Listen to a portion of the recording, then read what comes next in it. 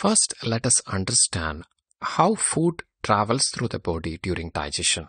It starts with mouth, then the food moves to the esophagus, then it moves to the stomach where it is further digested. Then the digested matter moves to the small intestine where absorption of nutrients takes place. Then it enters the large intestine and the waste is removed through the anus. As you see, this is a long tube starting from mouth to anus and this is called the alimentary canal. So the digestive system is made up of two components. First one is the alimentary canal starting from mouth to anus through which the food moves. It includes mouth, esophagus, stomach, small intestine, large intestine, anus, rectum, etc.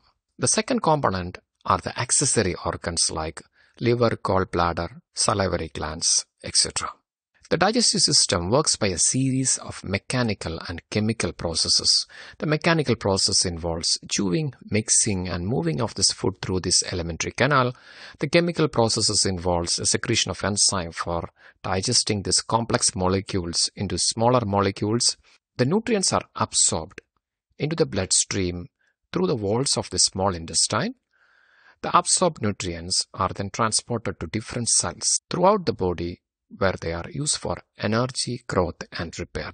Now let us see the function of each of the structures of the digestive system within 3 to 5 minutes. Starting with mouth. Mouth is involved in the ingestion of food, chews and mixes food with saliva. It is a place where the mechanical breakdown of carbohydrates and lipids begins. Lipid breakdown by means of lingual lipase. It's also involved in moistening the food the second structure is the salivary glands and salivary glands lubricate mouth with saliva, helps in swallowing and also helps in digestion. It produces saliva that mixes with the food that also helps in the breakdown of carbohydrates, also kills harmful bacteria. Then the food moves through this throat, which is also called as pharynx, that pushes the food down into the esophagus, this long tube that transport food from pharynx to the stomach. Esophagus is a muscular long tube that transports food from pharynx to the stomach by peristalsis. Stomach is involved in the mechanical and enzymatic digestion of food.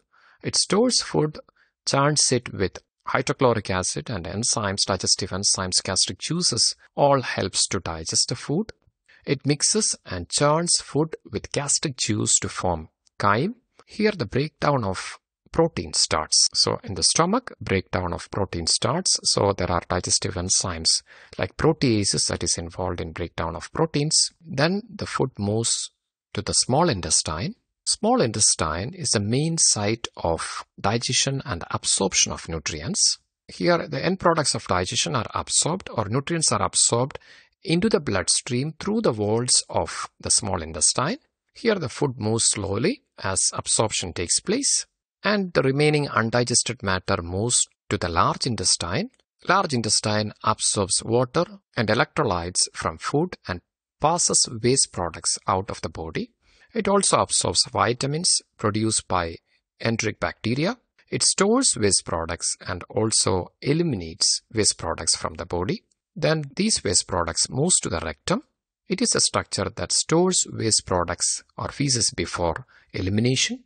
And finally, the anus, the opening through which waste products are eliminated from the body. So this is how food moves through the body during digestion, starting from mouth to the anus. During the process, the nutrients are absorbed in small intestine. So these structures forms the alimentary canal that starts from mouth to the anus. Now there are accessory organs. The first one is the liver. Liver produces bile, which is necessary for digestion and absorption of fats. It stores glycogen. It also is involved in detoxification of harmful substances. The next one is the gallbladder. As you see here, this is a gallbladder. It stores bile, which is released into the small intestine when needed. That is essential for digestion of fats. And the next structure is the pancreas, which is a gland that produces digestive enzymes and bicarbonates which help to digest carbohydrates, proteins, and fats. It also produces insulin, a hormone that regulates blood glucose levels. And the final structure is the appendix, a small finger shaped pouch that projects from the cecum. The exact function of appendix is not known, often considered as a vestigial organ. So these are the major structures or organs involved in digestion. So let me summarize. So human digestive system is a complex system of organs that breaks down food into nutrients that the body can absorb and use for energy, growth and repair.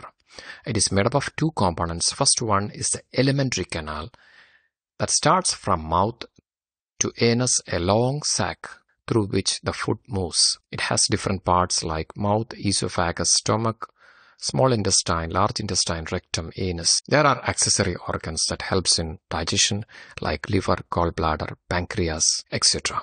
Hope you understand the process of digestion. Take care. Stay blessed. Thank you so much. You are with biologyexamsforyou.com.